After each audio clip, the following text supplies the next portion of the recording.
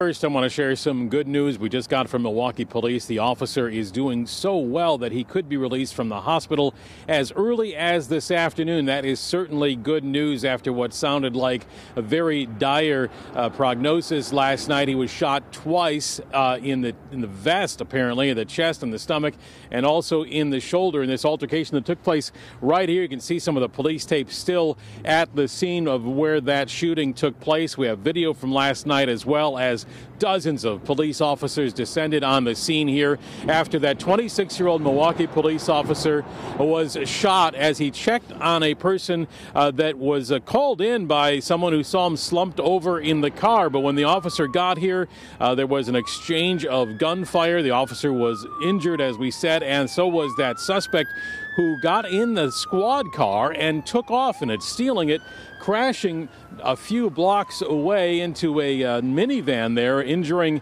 a person driving that minivan. And then that suspect, a 22 year old man, uh, took off north on 17th Street there up towards Wisconsin Avenue on foot, where he was eventually arrested and taken into custody and treated at the hospital. Police continue to investigate, of course, everything today and try to determine what led up to this. We have learned, though, that that 22 year old suspect was wanted at the time, was involved in a a, number of cases accusing him of stealing vehicles. There was also a charge related to drugs. And again, uh, warrants were issued for his arrest back in October. So, certainly not someone that would have uh, wanted to have drawn attention to himself.